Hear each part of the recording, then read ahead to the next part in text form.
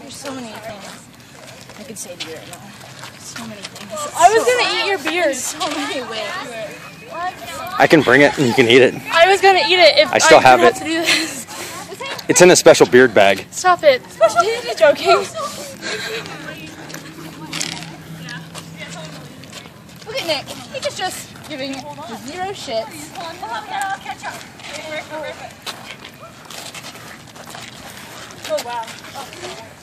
We missed you, Charlie.